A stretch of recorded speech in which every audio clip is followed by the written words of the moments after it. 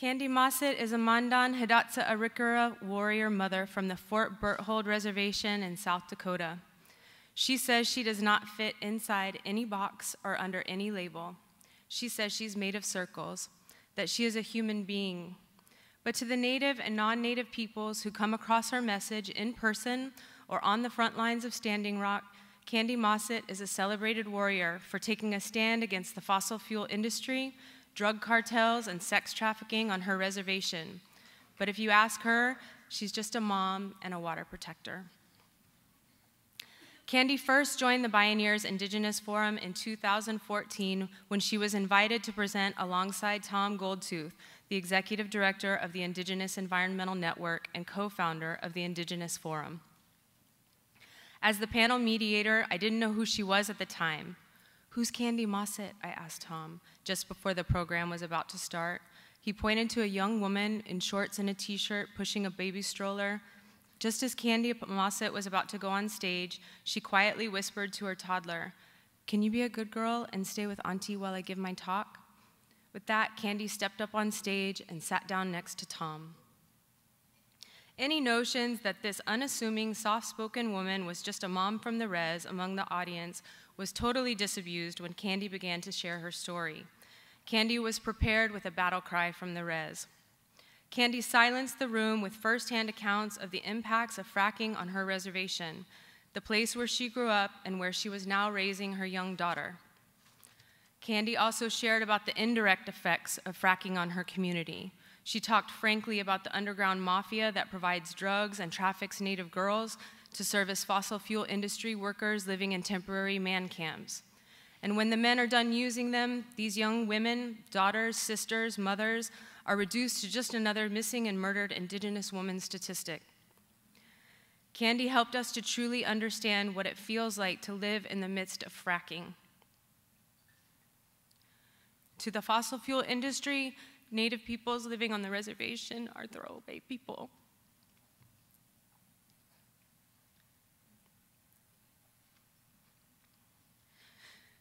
Kandi broke our hearts that day we left the Indigenous Forum in collective disbelief and sadness over what Kandi had witnessed in her short lifetime. But along with a deeply disturbing portrait of the devastating impacts of fracking on a community, somehow Kandi also imparted hope. Her courage is contagious. Less than two years later, Kandi became an international environmental celebrity when she joined the Sacred Stone Camp early in the Standing Rock demonstrations against the Dakota Access Pipeline. Many people are, aware, uh, are unaware that the No DAPL movement grew out of a group of Native women who gathered in the spring of 2016 to pray over the pipeline as it came closer and closer to the sacred waters of the Cannonball River. That summer, thousands of Native Americans from North America and around the world tuned into Kandi Mossett's Facebook Live accounts of what was happening on the ground at Standing Rock, she became a trusted source for people in Indian country to understand what was going on at Standing Rock minute by minute. She asked for prayers, and we prayed.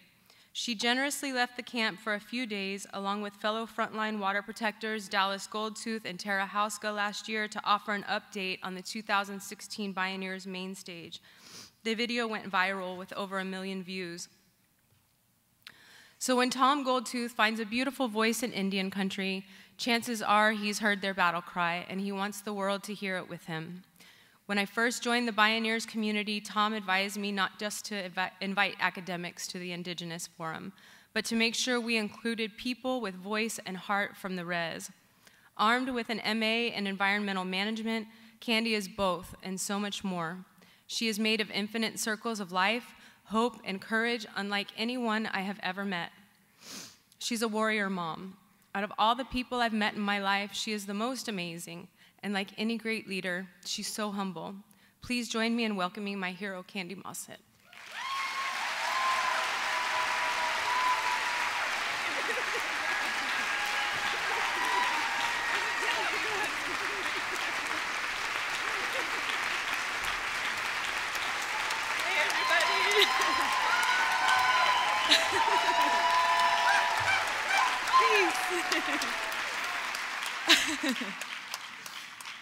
Whew, darn it, that Cara. Standing back there, I'm not gonna cry. it's gonna gonna mess up my makeup that they make us put on. so, um, Dosha Maragut, Marashima A Ishuia Hetz. And so in my Hidatsa language, I said, hello relatives. My name is Eagle Woman. My English name is Kandi Mossett, and um, wanted to talk to you a little bit about um, where I come from. The Mandan, Hidatsa, Rikara nations in North Dakota, which we're three separate and distinct tribes that were put together on the same reservation in 1860 by this federal government because we were similar enough. And also, so many of us were decimated by smallpox that we were really small in numbers by the time that happened. but we have our separate languages and cultures and traditions. We're Earth Lodge dwelling tribes. It's not like the Western movies where you see teepees and horses and buffalo and that's it. you know, um, we had those things for sure, but we were farming tribes. We grew corn, squash, beans, tobacco, and as such, always lived along the waterways and the bottomlands, the Missouri River, for a really, really, really long time. So, one of the first threats after the reservation in 1860 was something called the Flood Control Act of 1944, also known as the Pick Sloan Act, where they came up with this brilliant idea to build a series of dams along the Missouri River. And incidentally, every single one of those is below a reservation. Flooded us. And that dam, the Garrison Dam, created our reservoir of Lake Sakakawea, which we have come to embrace as our waterway, as, as our lifeblood. But we also had a moment where we were forced into a cash economy then as a result. My grandma says it's like we were forced through a door and could never look back again. We had to go to the top lands because that dam flooded all of our class one and class two agricultural lands on the bottom lands and all of the towns and villages that we had to come to accept that were forced upon us by the federal government. By the time our chairman at the time, George Gillette, signed on to that deal, he cried because they were already $60 million into building that project by the time we agreed to do it. So then, North Dakota was like, oh, well, we have this lig- lignite coal here. It's a beautiful thing, which it's not. Lignite coal is the dirtiest coal that you could possibly imagine. That comes from North Dakota. Seven coal fired power plants, several mines that we have impacting our air that has been happening for a very long time. I remember going to the coal plants in seventh grade. Our whole class fit into the back of a shovel, uh, one shovel that they used to dig it up. And um, they were telling us about how great it was, you know, how we could get jobs in the coal industry and it was going to be a wonderful thing. And I remember I was like, I'm too cool to wear these goggles that they gave us. And I took them off and I was like, oh crap, there's like all these particles going into my eyes. So I put them back on. But they didn't tell us about what it was doing to our watersheds. They didn't tell us that every single bit of our over 11,000 miles of rivers, lakes, and streams in North Dakota would eventually be contaminated with mercury as a result of that industry. That is before the fracking you may have heard of. This is all before we have the nation's only commercial scale coal gasification plant. We have uranium mining. We have over 8,000 acres of underground nuclear warheads stored in North Dakota. Okay, and then enter fracking and the Bakken Shale Formation that exists where I'm from. They call my reservation the sweet spot because at least one fifth of the oil that comes out of there comes from under our feet. And so instead of seeing fields, we started seeing these popping up all over the place, rigs everywhere. And on my reservation, there's no setbacks, zero. They're right behind apartment buildings where children ride their bikes and play. So we see these things that say, for sale, industrial zoned, leased to the industry. North Dakota is full of sunflowers, as my daughter is showing you here. We have wheat, canola, corn, barley, oats. We're known as the breadbasket of the country. And yet, this is what the wheat fields are starting to look like. This one was four years ago, and it's still not cleaned up because the spill was so toxic in this wheat field, which this farming family hopes to be able to put into production again. We started seeing truck traffic coming into my community and just tearing up our roads. Roads that actually used to be roads are now just gravel and nobody's fixing them. State of North Dakota is not because we're sovereign nations. These trucks take liberties. They fill up their frac trucks with pristine water where our families use to fill up their cisterns, families that have to haul water. So the next person that comes along has no idea whatever flowback was in that truck. This is Main Street, New Town, North Dakota, little tiny town where I grew up, 1,500 people in my community until the oil boom. Boom, all of a sudden, 5,000 people, probably three times as many trucks. They dump those frac fluids, toxic, never again used for human, animal, any consumption, right onto the roads because they can get away with it in Indian country. Whenever there's an accident, traffic gets backed up for miles and miles, and hopefully, hopefully people aren't hurt. But sometimes, this is my uncle's truck. He was moving my cousin, him and my brother were riding. A semi decided they were going to take over the whole road, and they either had to hit the ditch or have a head on collision with the semi. They hit the ditch. And they were okay. They had cuts, bruises, scrapes. Not everybody's always so lucky.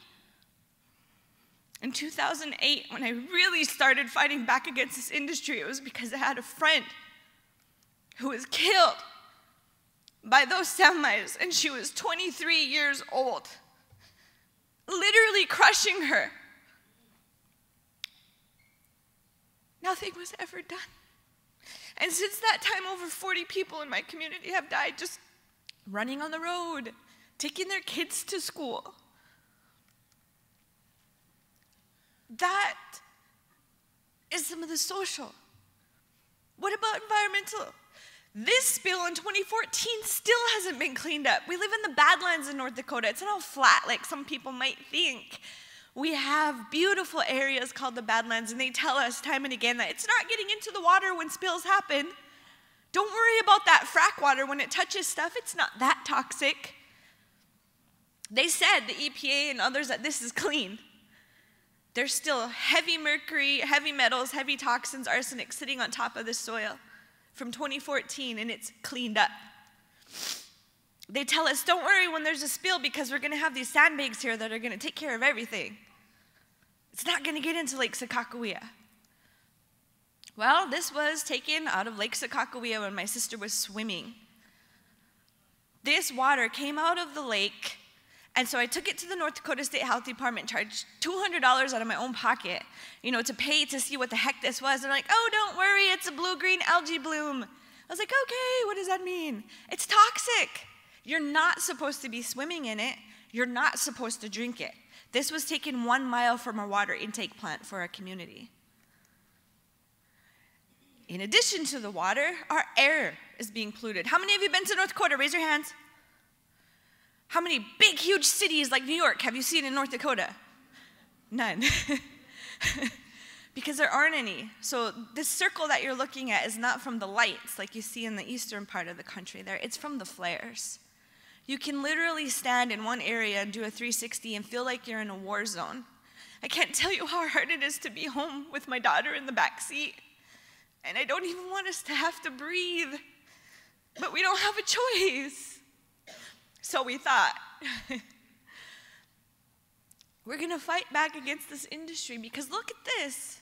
Just a few years ago, you could see for miles and see the buttes all of the compounds that are in there. All I wanted you to notice about this was where the little red arrows are, because those are carcinogenic, which means cancer causing. As a cancer survivor who shouldn't even be standing here today because I was diagnosed with a stage four sarcoma tumor when I was 20 years old, this is really triggering to me. And this is just 652 of the 2,000 possible chemicals that can be in that frac water. And every single one of those is of concern. They don't care where they put these things. My grandmother used to fast here. She used to go out and collect June berries, ground berries, choke cherries, turnips. And now signs say, do not enter, you cannot be here. And then came the man camps. Did you know that this past nine months alone, there were close to 100 people that were rescued from the sex trafficking industry. The youngest one was three months old. Crime came with the industry. It's inevitable. These are just headlines I took from my local papers that you're not going to see in mainstream media. Every single one of these has a story I don't have enough time to share with you today, but imagine the worst thing that used to happen when I was little was that the bad kids, us, used to egg our teachers' houses on Halloween. that was the crime in our community. And now this. And with that came drugs, came heroin, something we never had in our community before. And when people got addicted on heroin, the industry, the, the police, the, oh, they're just druggies. There was no services for the people. So when people like Ashley got addicted to heroin, there was nowhere for her to turn. She laid in a hospital bed for three days while her hands turned black and her feet turned black while her internal organs shut down before she died at 28. In the last year, we buried Lisa. Same thing, no one to turn to because she was just a druggie. No, she was a person that left behind five children. My cousin Daniel went missing. In 2013, we knew that he was with MS 13, a known organized gang crime that originated out of Venezuela. We knew that the night he went missing, he was with those kind of people. So we searched and searched for Daniel for months and we found him in Lake Sakakawea under the bridge. And because there was no stab wounds, there was no gunshot wounds, it was open and shut. We never knew, and we'll probably never know who killed Daniel. And that happens all the time as a result of the oil industry. And what do we get? What's our thanks for allowing these people to come into our communities? Written on our dumpsters for our kids to find? Racism as if it's our fault that they're there. So we fought against the semis, we fought against the trains.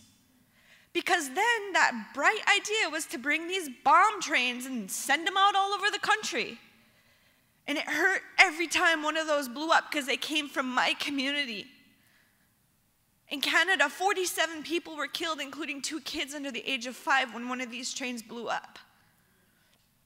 And so then, what was the next brainchild? Pipelines. You've probably heard of the Dakota Access Pipeline. You might know how it ended at the time. Yeah, we were forced out by gunpoint from our US military for trying to protect our water. When we say the front lines, People get triggered because they say, oh, that connotates war. Well, if you don't think we're at war, then you're sorely mistaken and you need to wake up because we are on the front lines.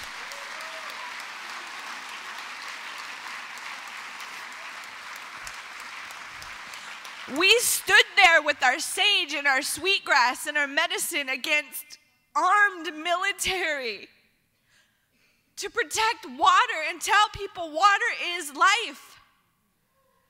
And it doesn't matter that the camp physically was forced out because they can never take away the fires that are burning in our hearts from that. And we're never going to quit.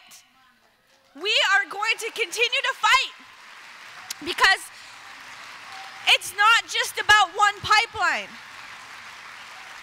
Raise your hand if you heard of Dakota Access. Okay, now raise your hand if you've heard of Sacagawea Pipeline. Hmm. That one quietly went under the water at the same time. You see, it's not just about the symptoms. It's about stopping it at the source. And I want to show this video of what we're continuing to do at home.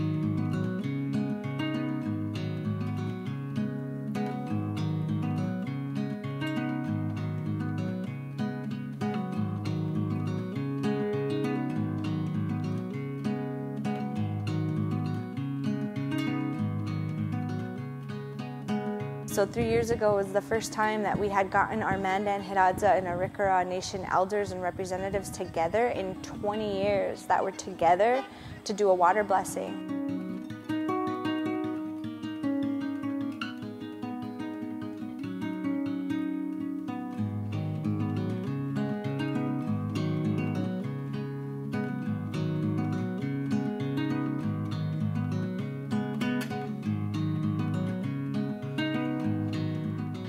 Know, these industries, their roots aren't here. They're only here for the money and they want to extract as fast as they can. And we have a lot that's at stake here. There's a big battle going on right now, and we're the battlefield.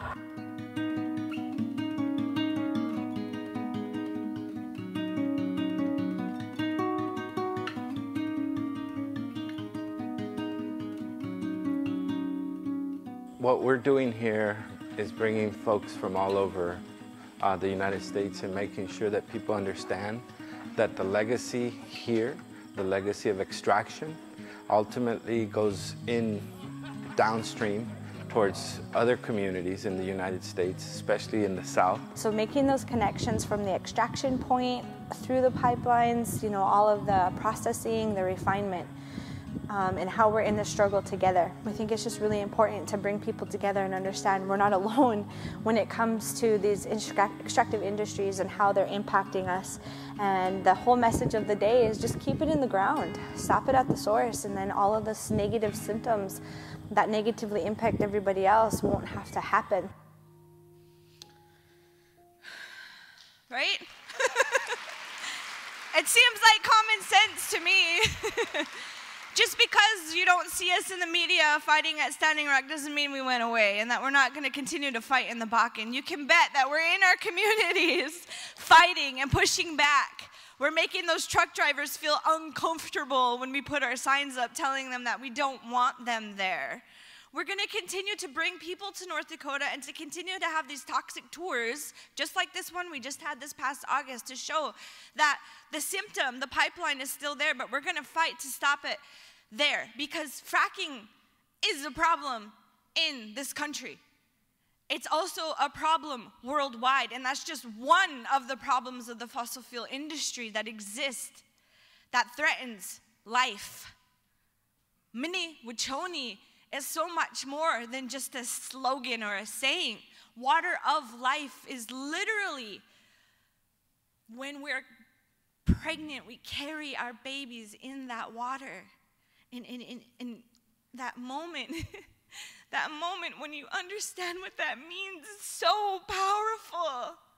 And I like to share it with people because we have a responsibility to protect that life to show them that they can be the future power shifters and to get them ready to do it.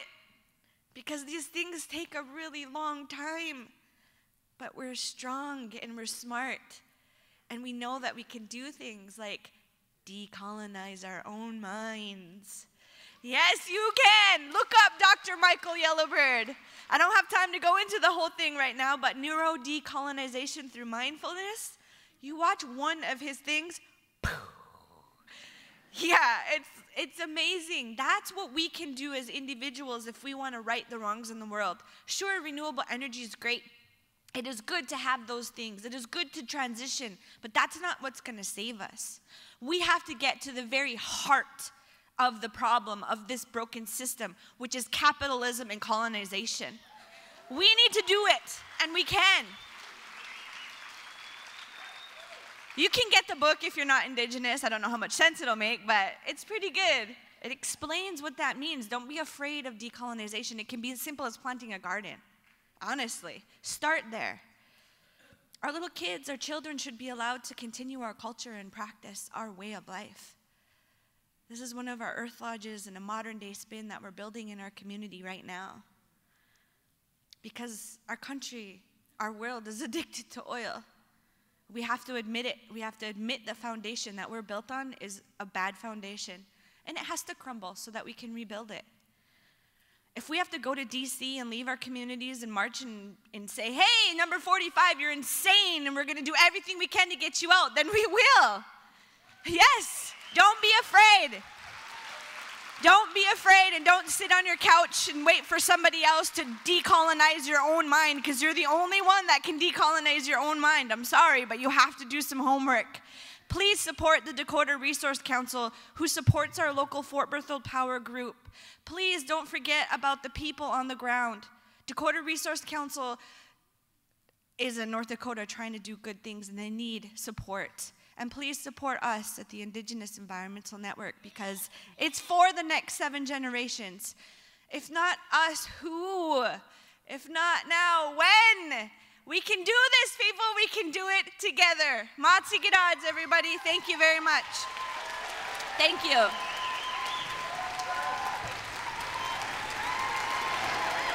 Hi, Cindy.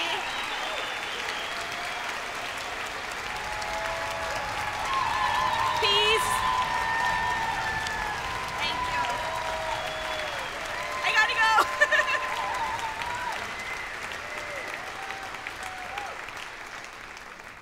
So last year, when Kandi came down from Standing Rock and, and spoke with a couple of other folks with Dallas and um, Tara Houska, as uh, someone mentioned this morning, that video, we got it out really quickly and got over a million views. So we're going to be doing even more of that. This is what this needs to get out to everybody. So thank you for being here and seeing it first.